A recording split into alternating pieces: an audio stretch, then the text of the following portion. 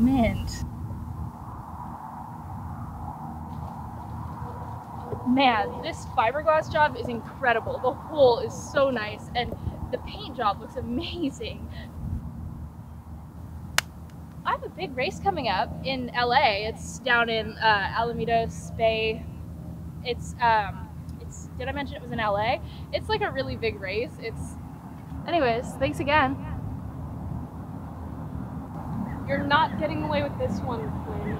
I did the work, you pay up. You told me yourself how nice your boat looks. Now hand over the money. I'm really tight for cash right now. I don't have a penny on me, honestly. I can pay you back after I win the race. Pay me with what? An oversized shirt and a dry bag? Look, Quinn, I've heard about you from my coworker. You know Santiago? Nice work on the rudder. I'm just gonna keep this safe for you. Bye. His problem. Now this one's yours. What are you gonna do about it? Unfix my boat? I'm just kidding.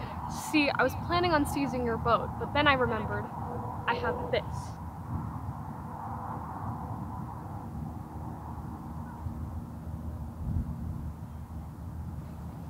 My plug. I can't race without that. I'll sink in two minutes. Well, you should have thought about that before you went bankrupt. Please, uh, just help me. I- I'll do anything.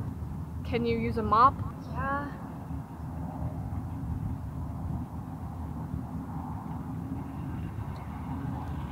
Ring me up. You can start in the yard on Monday, and you might just get this back.